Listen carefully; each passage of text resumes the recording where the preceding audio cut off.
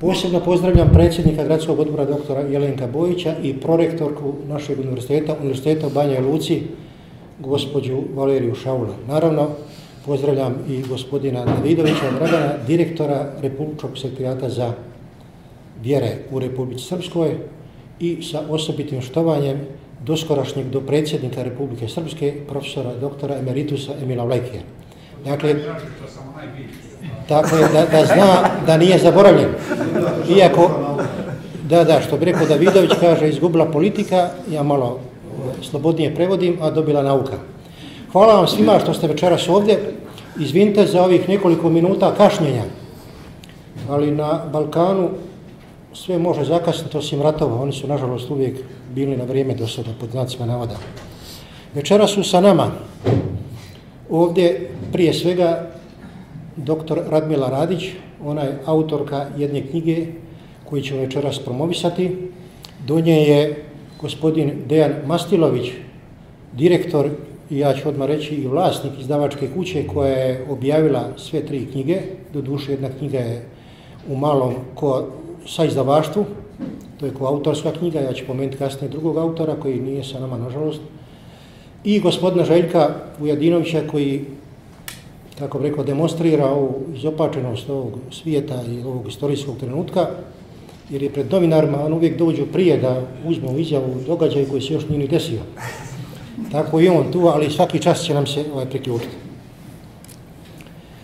Večeras ćemo promovisati, kao što rekao, tri knjige. Prva knjiga je knjiga znamenitog njemačkog istoričara Frica Fischera.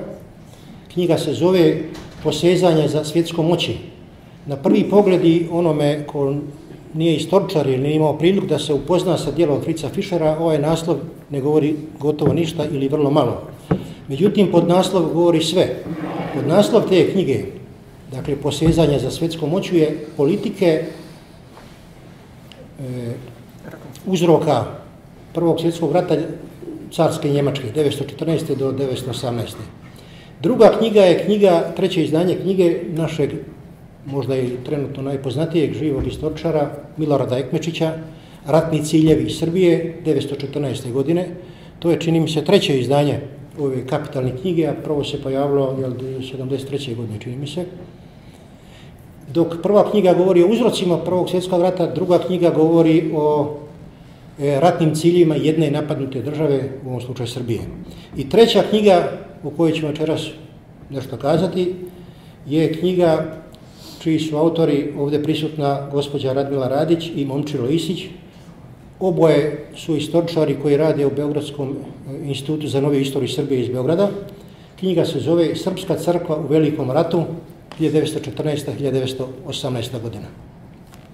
E, po nekom našem dogovoru e, prvo će govoriti normalno predstavnik izdavača koji je zajedno sa svima vama prisutnima i autorima od kojih je nažalost večeras nama samo gospođa Radić, možda i najzaslužniji, što večeras u Banja Luci promovišemo ove tri kapitalne knjige.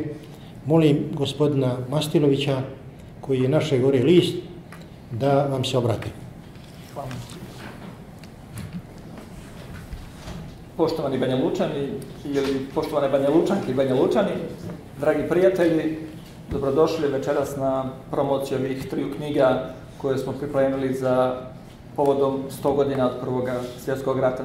Nama Hercegovicima uvijek je prijatno doći u Banja Luci i tako se i osjećamo i mi neke vaše Banja, Luke, Banja Lučane vodimo dolu Hercegovinu, ovaj, tako da je uzajamno prije svega profesora Emila Vlajkija. Ono što bih htio e, da vam kažem, znači da smo se mi kao izdavačka kuća pripremali intenzivno dvije godine dana da bi izdali neke od ovih, od ovih knjiga. Fritz Fischer je jedan od najpoznatijih svjetskih historičara, vjerovatno vodeći njemački historičar 20. vijeka. Prvo izdanje njegove knjige objavljeno je 1961. godine. E, njega je angažovala vlada Njemačke da istraži arhivsku građu i napiše jednu objektivnu knjigu o njemačkoj krivici u Prvom svjetskom ratu.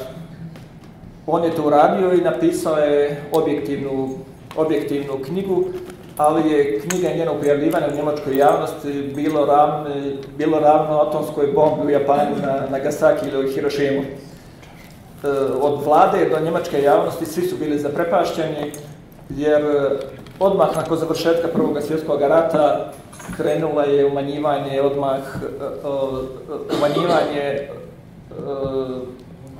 odgovornosti Njemačke za početak Prvog svjetskog rata.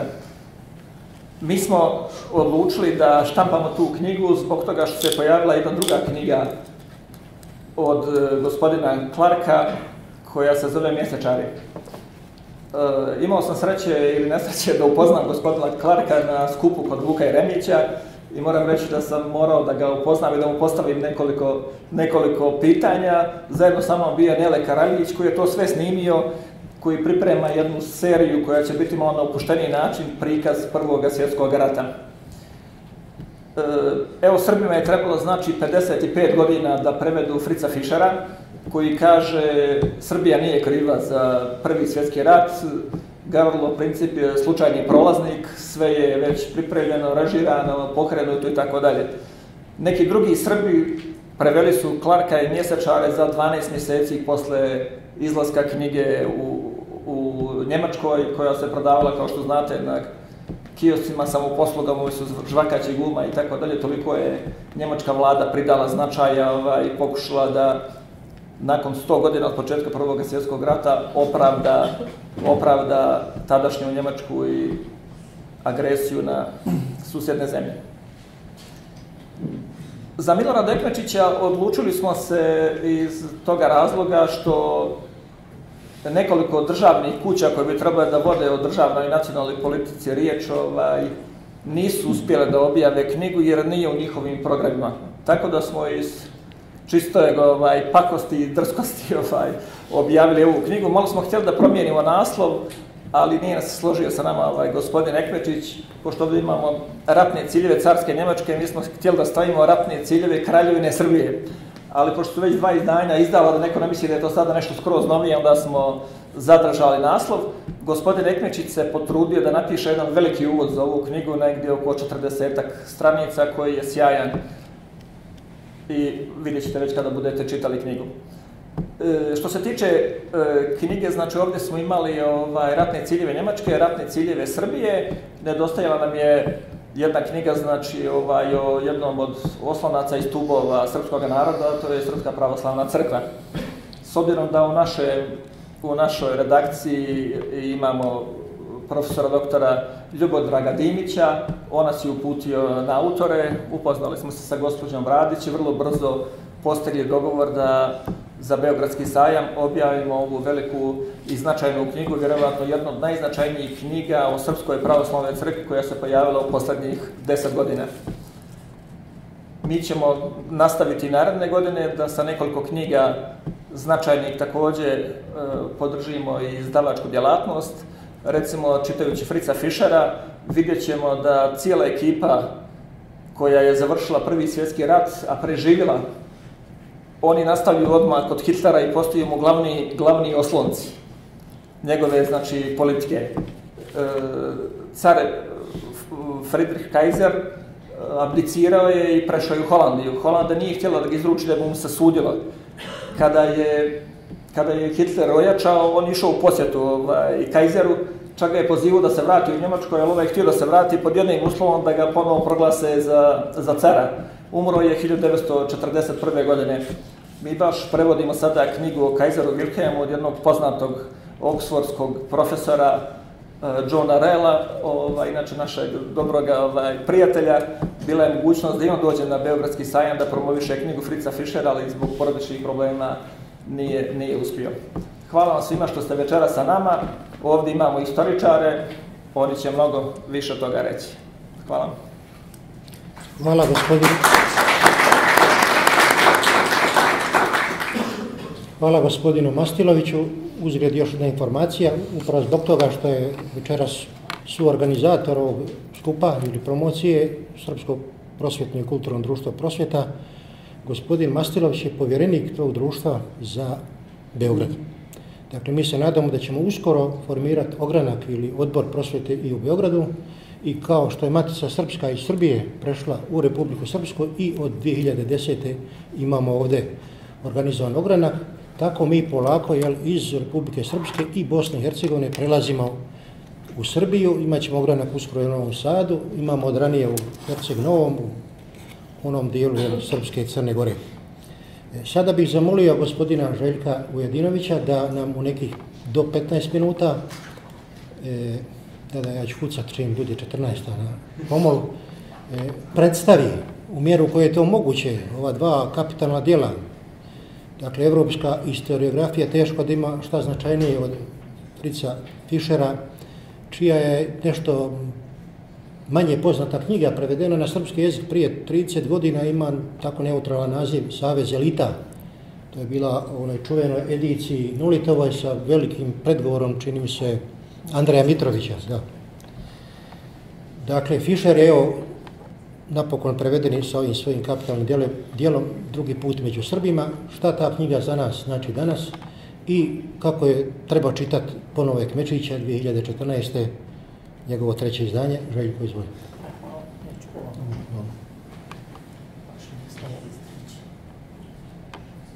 Uključi. Dame i gospodo, dragi prijatelji, Uobičajeno je danas da se kaže da neka knjiga kao i ploča ili kao i CD muzički nema neki svoj život ako nije doživjela neku promociju svoju. Ali to su dobro odnosi na nova izdanja, na prva izdanja.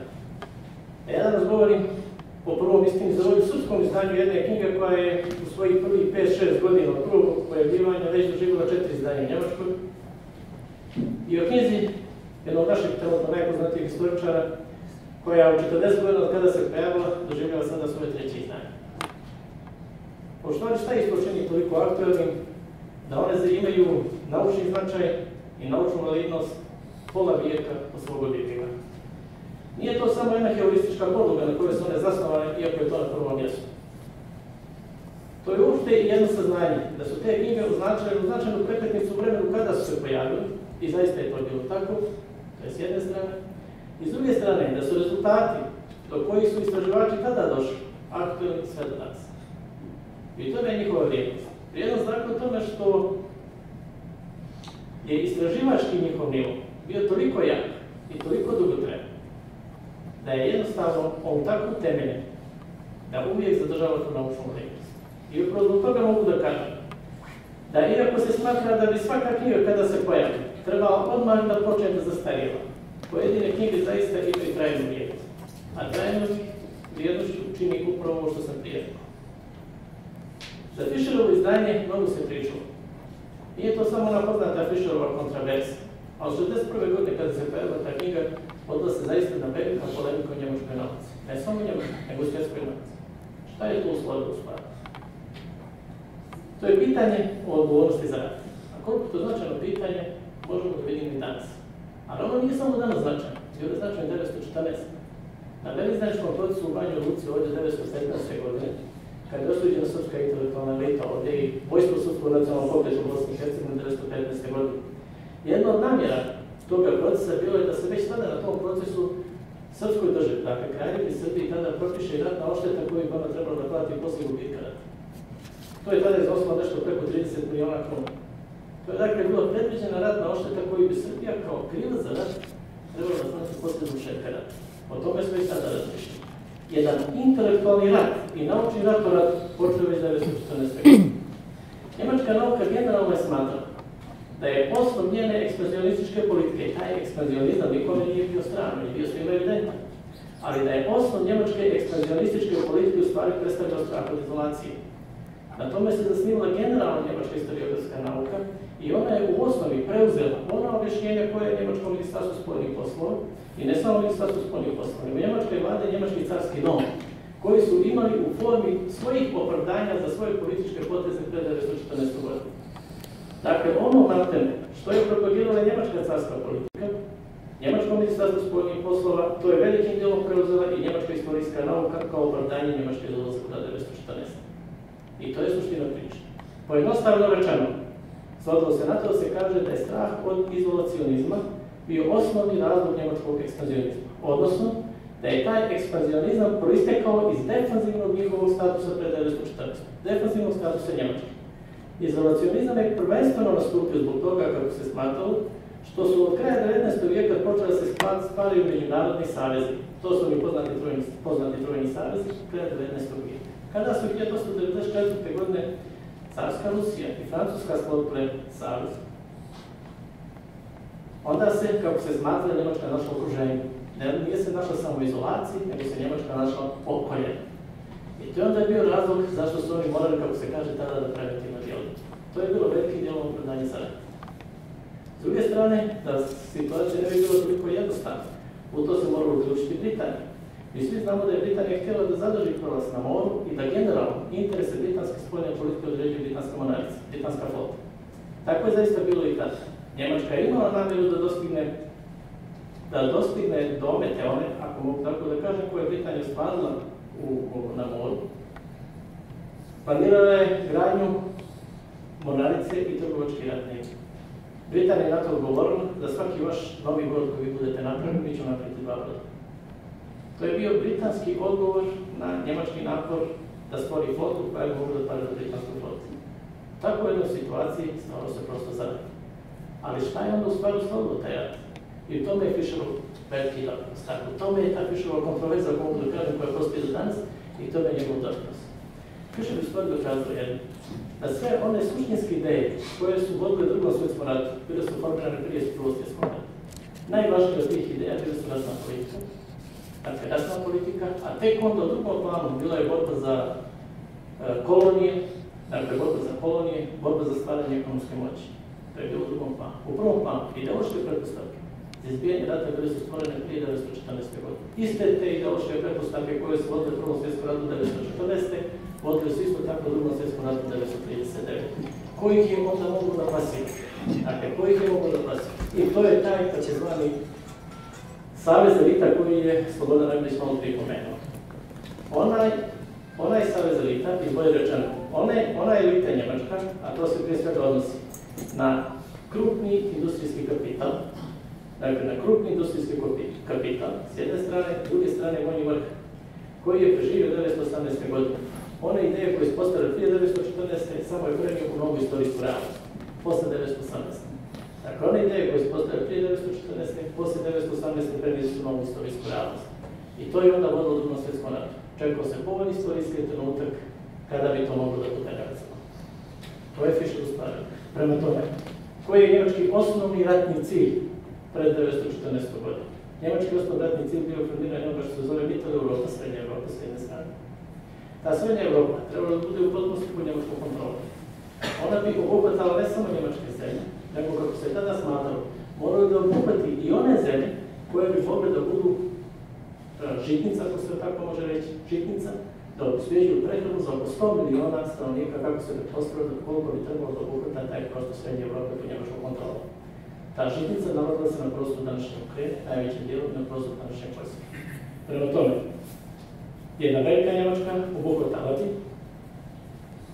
Njemačke zemlje, prirodni savjetnik za, za tu politiku bila je Kabuška monarhija, dakle Austro-Ugrska, i obuhvatala bi Poljsku i Ukrajinu koje je bile pod njemačkom kontrolom. To je postalo prije 1914. Krajem 19. vijeka Bismarck je već promovisao takvu, takvu jednu osnovnu njemačku stranu politiku.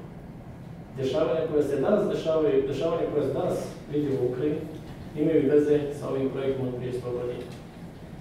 S druge strane, Habsburgska monarhija također ima interese u tom pogledu. Ona se svode na to da je, od kada je zakoračala Balkan 1878. godine, ona doživljava Srbiju, kako bi na to rekao, po svog prirodu neprijatelja. Od 1878. godine stvarani su planovi kako treba eliminisati Srbiju sa geografske karte i kako treba kontrolisati taj prostor.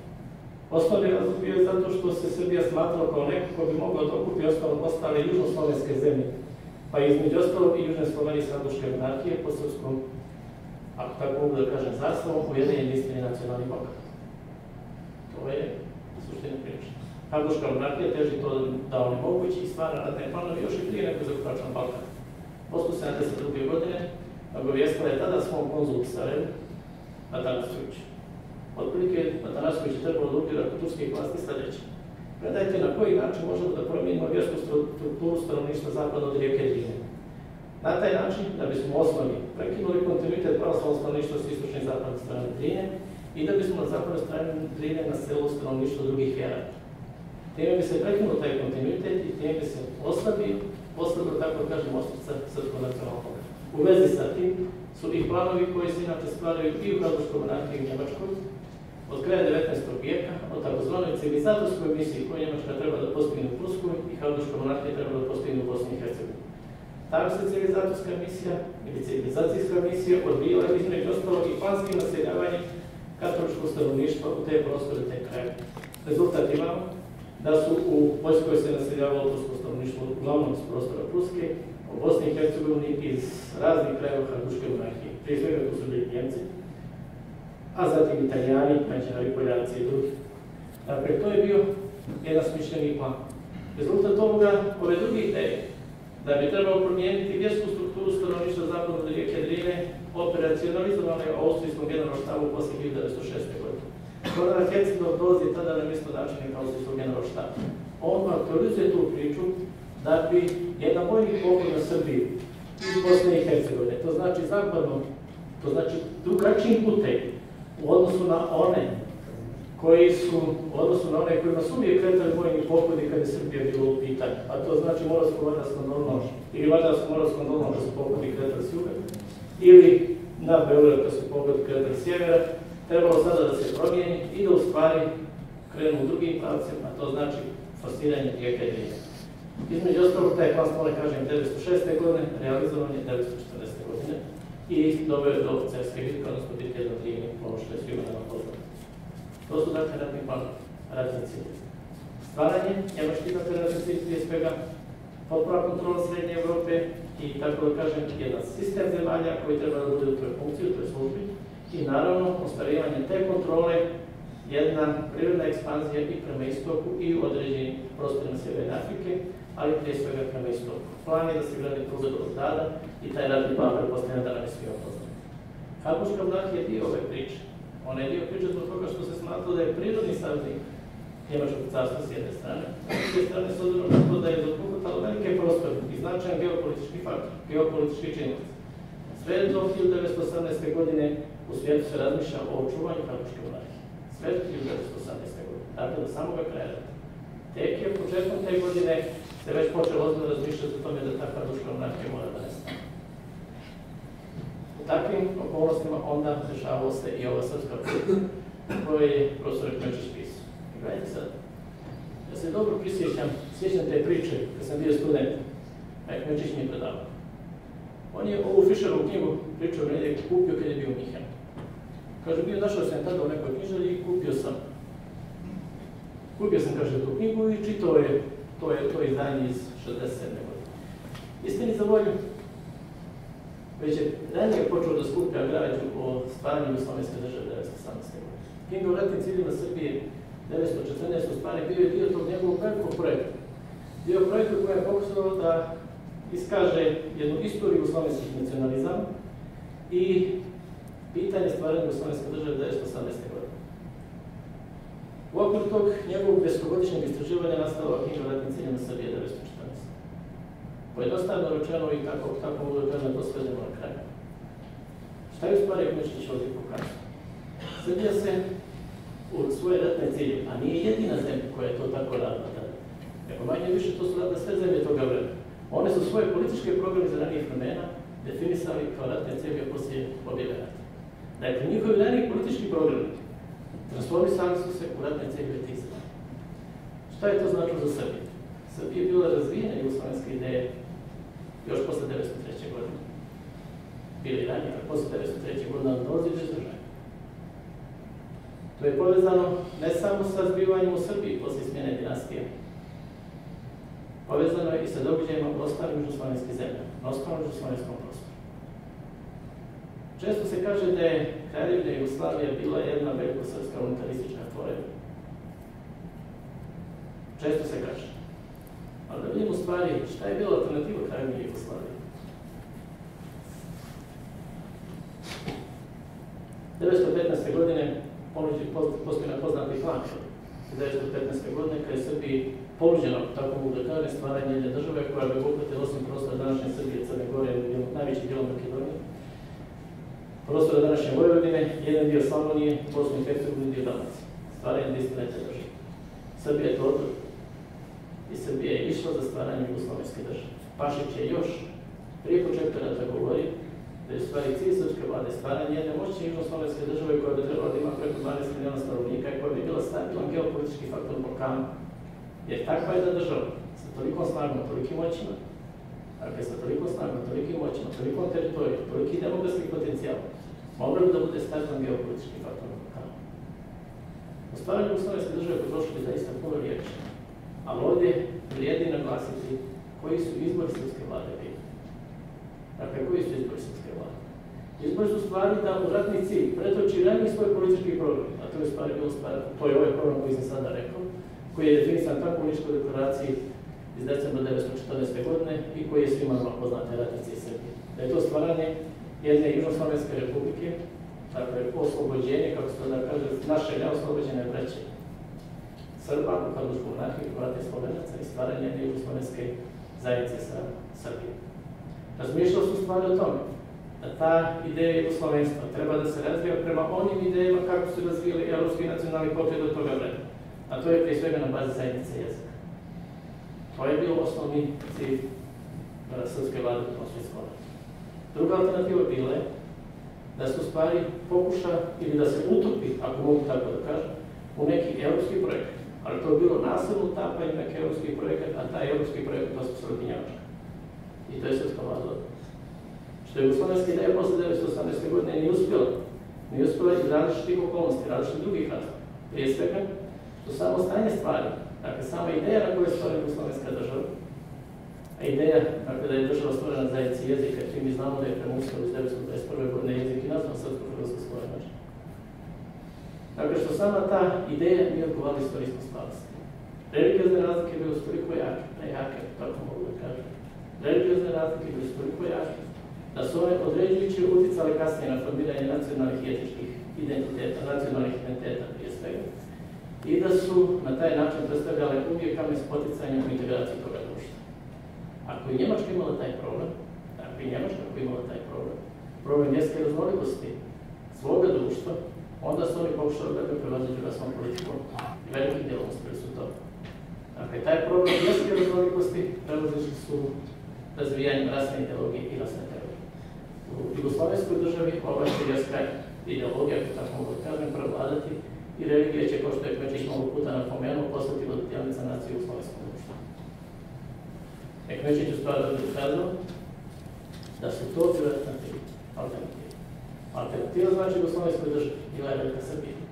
Ali ta Velika Srbija mora da se sprovede uz ono veliko preseljenje stanovništva. To preseljenje stanovništva danas ni rečnikom rečeno nazivao u svetničko očišćenje.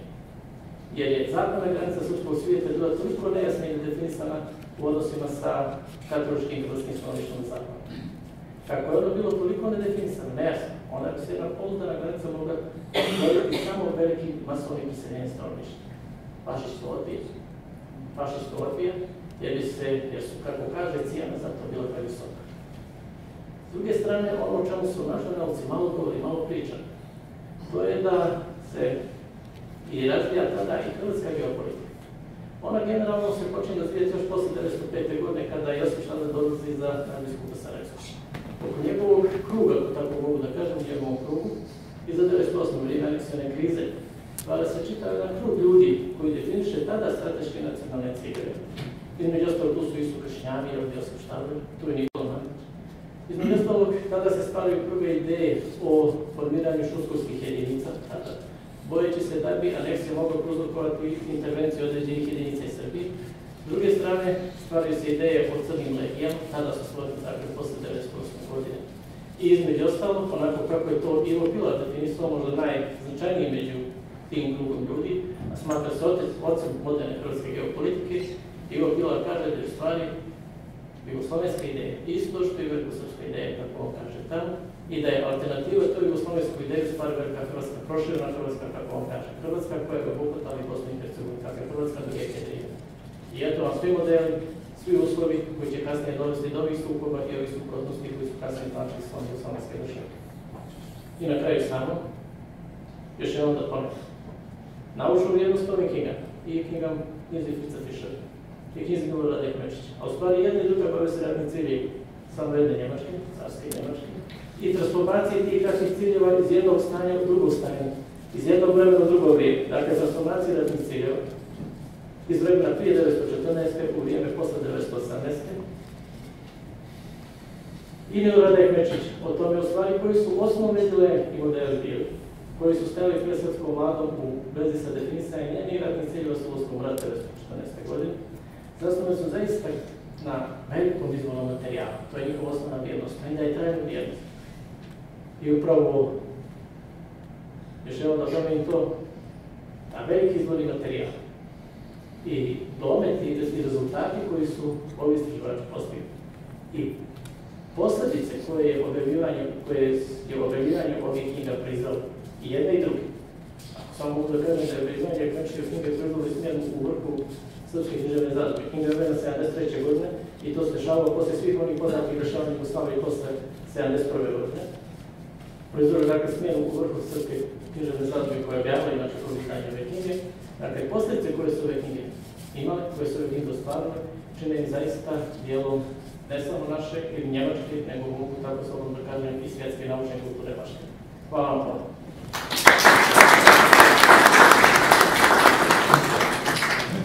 Zahvaljujem gospodinu Vojadinović. Ja sam baš kao baš čelik poklonio četiri minuta života, pa je duže govorio. I, poklonio sam naravno zbog toga što sam ja imao namjer da govorim deset minuta, pa ću ovo svoje izlaganje skratiti samo na šest. Dva su razloga za to. Prvo ja treba da govorim nešto o knjizi o kojoj je vrlo teško naći neku sredinu pa govoriti neki 15 minuta. Dakle, možete dati nekoliko osnovnih informacija i možda jednu vrijednostnu ocjenu, što je najteže izvesti, što se na kraju krajeva mnogi autori najmanje osuđuju da kažu. I drugo, što ova knjiga zahtjeva daleko širu eksplikaciju. Dakle, rizikujete da promašite, da ne kažete ono što je suština ove knjige. Ali ne mogu da ne kažem nešto povodom izlaganja o ove dvije knjige. Danas, 2014. godine, mi se čini da su najvidljivije dvije sljedeće posljedice neuspjeha ratnih ciljeva Njema, carstva Njemačkog iz 1914. To je Ukrajina, gdje stvari tek počinju, i drugi recimo ISIL. Jer jedan od ciljeva njemačkog drang na Hostu bila je recimo izgradnja pruge Berlin-Bagdad, da je tad to napravljeno na početku 20. vijeka, vjerojatno danas ne bismo imali ISIL, ali o tome ne bih duže. Dakle, pred vama i pred nama svima je dijelo Srpska crkva u Velikom ratu 1914. 1918. godine, dvoje autora, Radmile Radić i Momčila Isića. Ova knjiga je, sudeći kako je napisano u predgovoru, završena ljeta gospodnjeg 2014. Dakle, u julu mjesecu su autori predali rukopis i on je već na Beogradskom sajmu e, ugledao svjetlost dana i bio tamo promovisan. Naravno, ja moram u vezi sa ovom knjigom kazati osnovnih nekoliko podataka. Na 610 strana, koliko knjiga ima ili 612, riječ je o dva osnovna poglavlja koja se međusobno razlikuju i mogli bi biti samostalno štampani. Prvi dio od prve do 150. strane je zapravo studija ovo dvoje autora u kojoj je do izražaja došao njihov zaista rudarski posao. A drugi dio je jedan leksikon sveštenika i monaha u, vrijeme ili u periodu Velikog rata 914. do 918. E, naravno da su obje ove stvari u međusobnoj vezi. E, druga važna informacija za mene je da nisam brojao do sada ni u jednoj knjizi, a poturio sam ih mnogo kroz ruke, broj fusnota. Ova knjiga ima 3688 fusnota. I to je za sada najveći broj fus, fusnota jednoj knjizi koju sam ja, dakle, ovaj, potobio kroz ruke, koju sam brojao. Zašto ovo pominjem? Pa zbog toga što ta činjenica dokazuje taj mukotrpni rudarski posao. Dakle, ni jedno ime, ni jedan događaj, ni jedan proces, ni jedan geografski pojam nije bez zvijezdice iznad sebe, odnosno broja. Dakle, sve je to objašnjeno, potkrijepljeno iz više izvora. Ali ja sam ovaj broj fusnota pomenuo iz razloga što ću ja početi od fusnote broj 2. Tu gospođa Radić citira e, Peru Slijepčevića. Peru Slijepčevića, sad ko zna ko je, zna, ko ne zna nigdje u školu pa nek nauči, e, Pero Slijepčević, naravno, ništa bez Hercegovaca, jel? Pero Slijepčević je e, čovjek čija je sabrana dijela prošle godine objavila ova kuća u nekoliko tomova. Dakle, riječ je o jednom zaista velikom znalcu, gotovo renesansnom čovjeku po znanju raznih oblasti od historiografije do germaniste, do germanistike, on je zapravo bio formalno germanista, jel, predavao njemačku i svjetsku književnost i tako dalje. E on je napisao jedan članak 1929. godine u kome se jada, kao mi kukamo toliko, kad kaže mi misle na Srbe, pa još posebno na neke patriotske organizacije, da smo bili mučenici ovako onako, a još ne znamo koliko nas je stradalo. Dakle, to Pero piše u jednom članku ovaj, napori BiH za oslobođenje i ujedinjenje. To je 11 godina nakon rata, a 15 godina nakon 1914. Ja bi na to rekao sljedeće. E, moj Pero, prošlo je 100 godina 1914. a mi ni danas ne znamo koliko je stradalo ne samo sveštenika, nego Srba uopšte, pa i drugih naroda na prostoru nekadašnje Jugoslavije. Ne znamo ni koliko je stradalo u drugom svjetskom ratu, a nešto su sredstva istraživanja bila savremenija, mi Srbi ne znamo ni koliko nas je stradalo u proteklom građanskom ili otačbinskom ratu koji je neposredno iza nas, a ovdje imaju živih jel, učesnika i aktivnih jel, e, sudionika tog rata. Dakle, nije čudo što se 29. godine nije znalo koliko je stradalo sveštenika, koliko je drugih ljudi stradalo za oslobođenje od Austro-Ugarske i za ujedinjenje, misli se jel, na stvaranje kraljevne Srba, Hrvata, Slovenaca, kasnije Jugoslavije.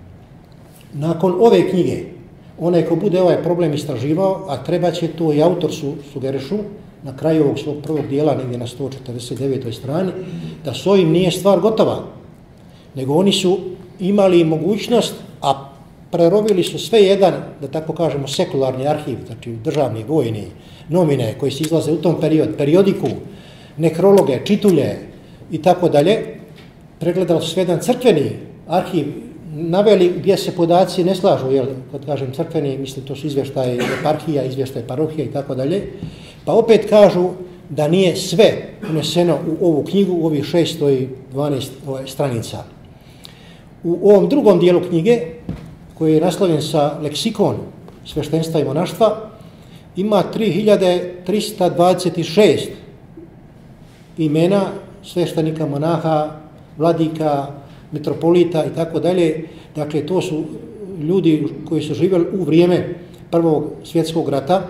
Od njih je oko 1900 na neki način stradalo. Naravno, pojam stradanja je neprecizan ovdje kod nas, pred nama ovaj profesorka međunarodnog prava i taj izraz gotovo ne znači ništa, dakle mora se precizirati. Kad kažem stradanje, mislim na onih koji su ubijeni, obješeni, streljani, internirani, koji su bili izbjeglice, koji su umrli zbog bolesti koja je harala prvim svjetskom ratom, ratom tifus i ostale epidemije, ili su umrli od posljedica tortura raznih u vrijeme Prvog svjetskog rata. Dakle, ima 1900 sveštenih lica, monaha i tako dalje.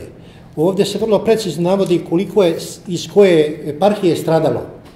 Dakle, najviše je stradalo su recimo Niška, Timočka, e, Šabačka eparhija, kad je riječ kod nas u, području Bosne i Hercegovine, Zdorničko-Tuzlanska, Banjalučko-Bihaćka, kako se tako zvala, i naravno Dabrobosanska.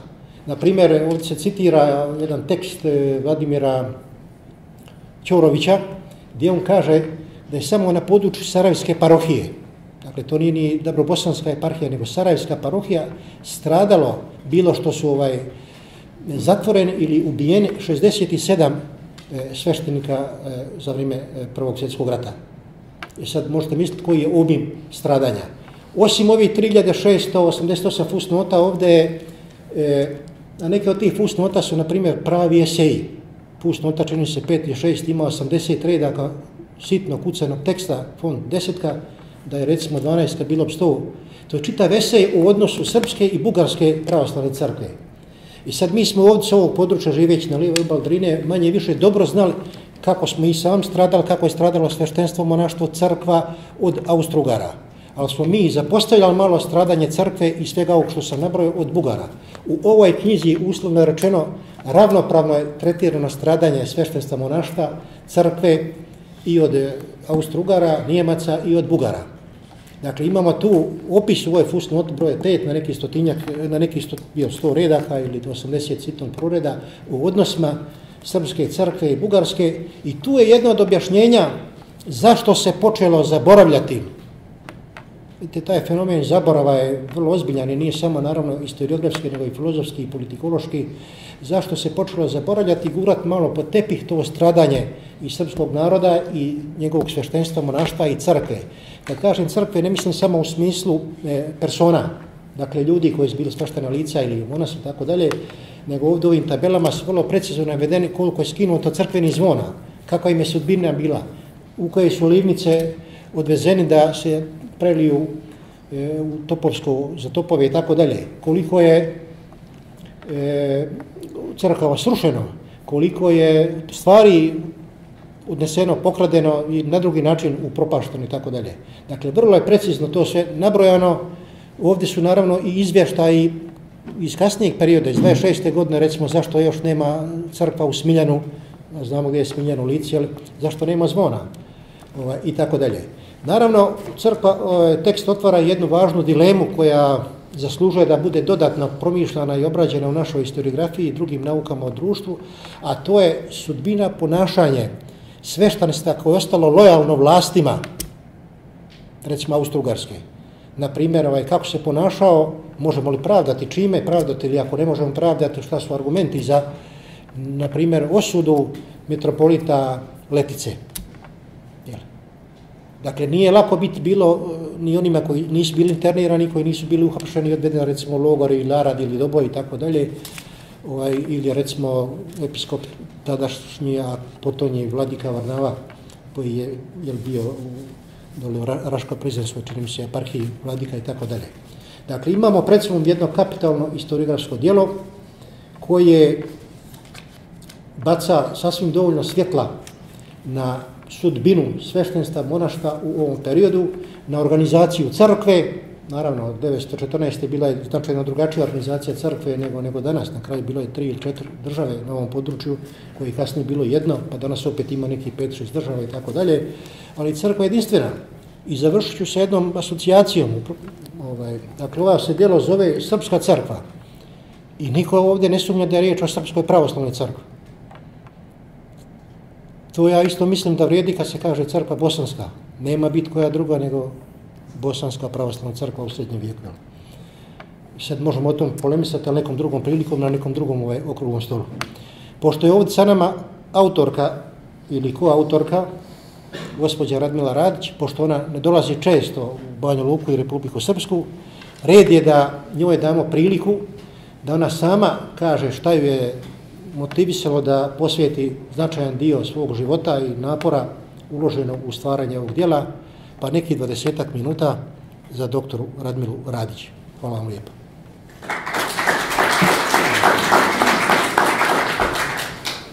Poštovane dame i gospodu, poštovane kolege, drago mi je da sam večeras ovde sa vama i da imam priliku da predstavim knjigu koja je, kao što ste čuli, kao autorsko delo. Radili smo kolega Mamču Isić iz Instituta za istoriju Srbije i ja.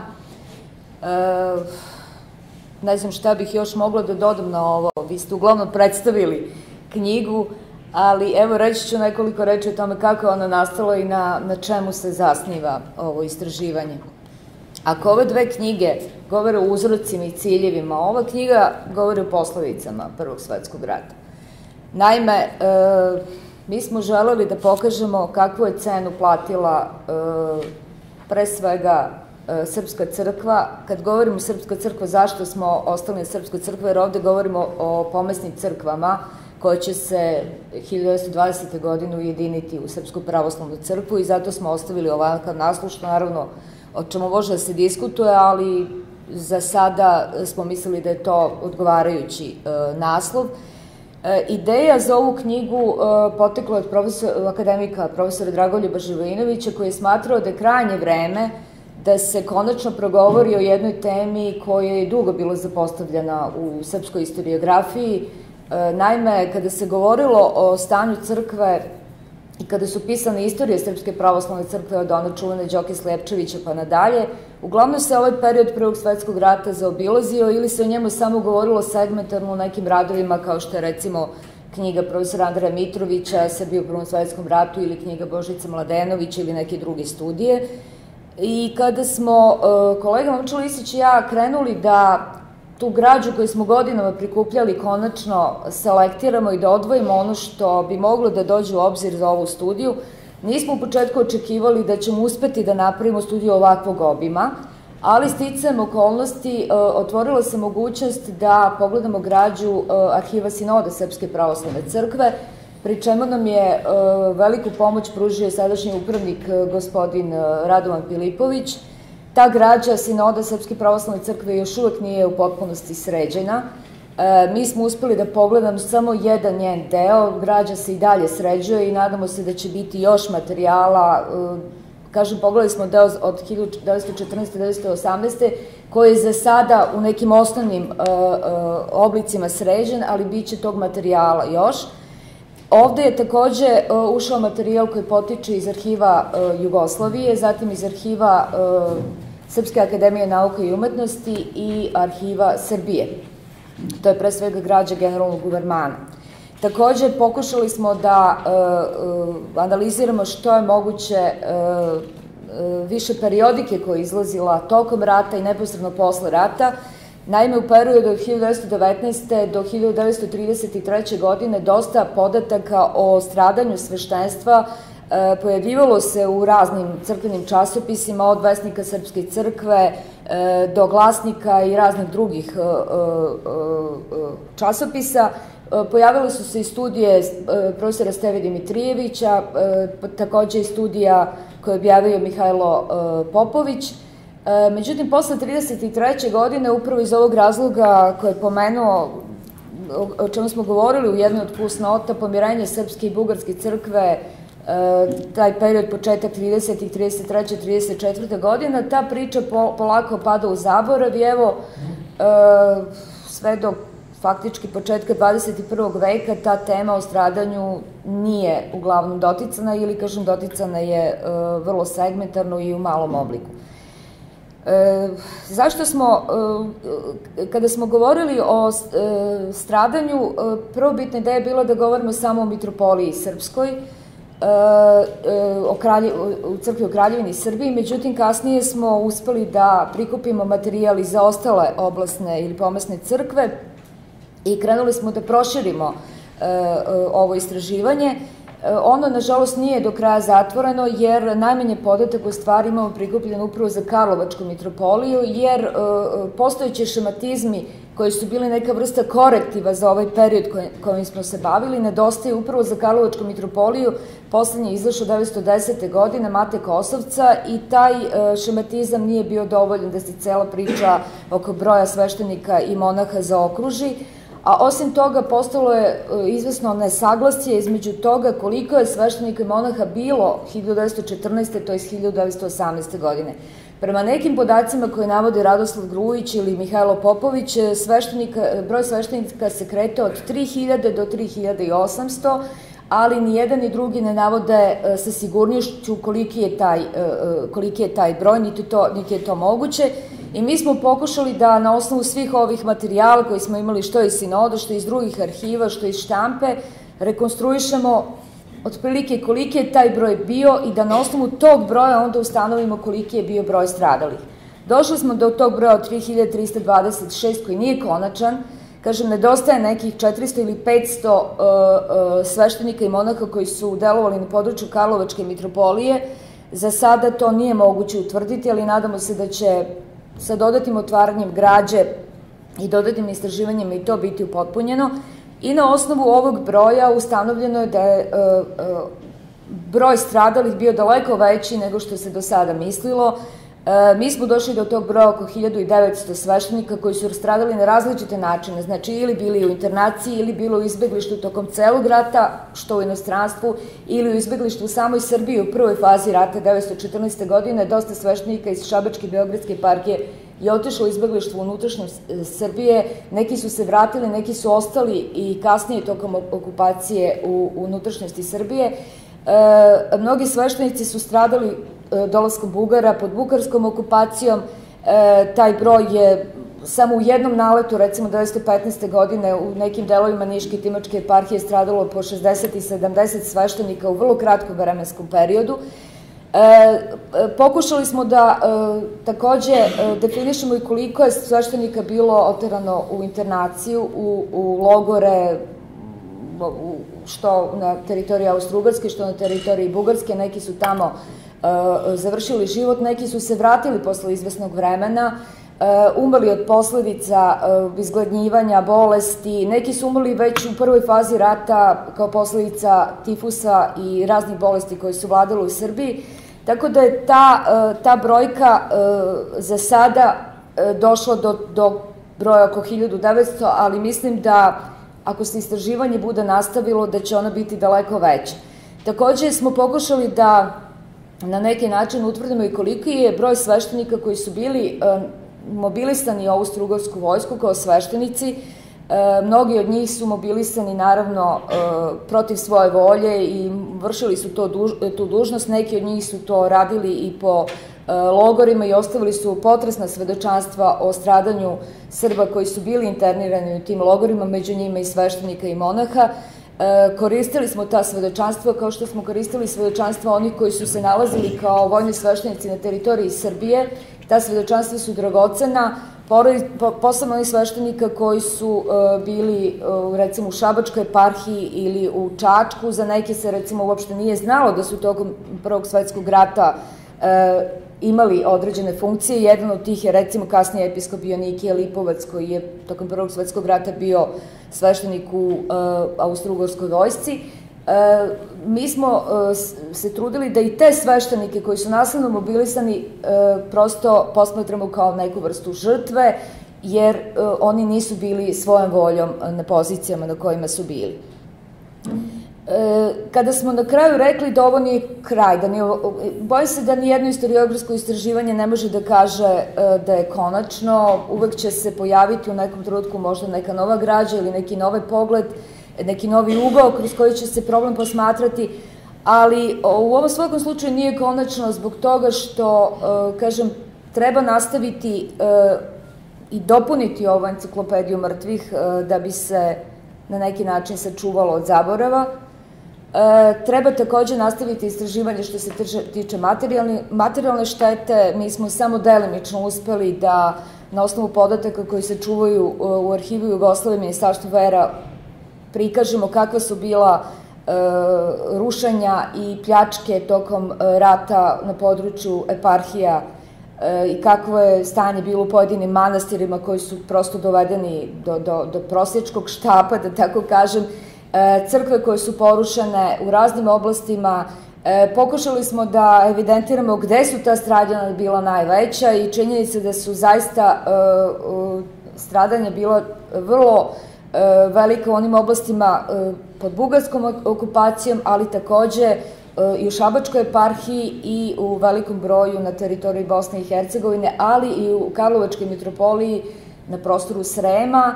O tome je svojevremeno nešto više pisao, ali opet 30. godina Toše iz Kruljev i to je faktički jedina knjiga o stradanju sveštenika u Karlovačkoj mitropoliji od 30. godina pa do danas. E, trudili smo se da uradimo što je bilo više moguće u ovom trenutku. E, to nije kraj. E, mladi istraživači ili kolege koji će doći posle nas, a i mi sami ćemo nastaviti da radimo na ovome. Od izlaska ove knjige do danas uspeli smo da pronađemo još dvadesetak ličnosti koje sticam okolnosti nisu ušle u ove spiskove.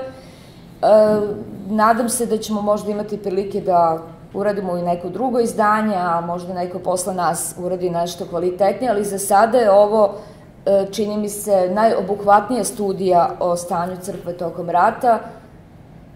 Nažalost, suviše je vremena prošlo da se to radilo ranije, verovatno bi rezultat bio mnogo bolji, ali možda će oni koji dođu posle nas uraditi to kvalitetnije. E, hvala vam.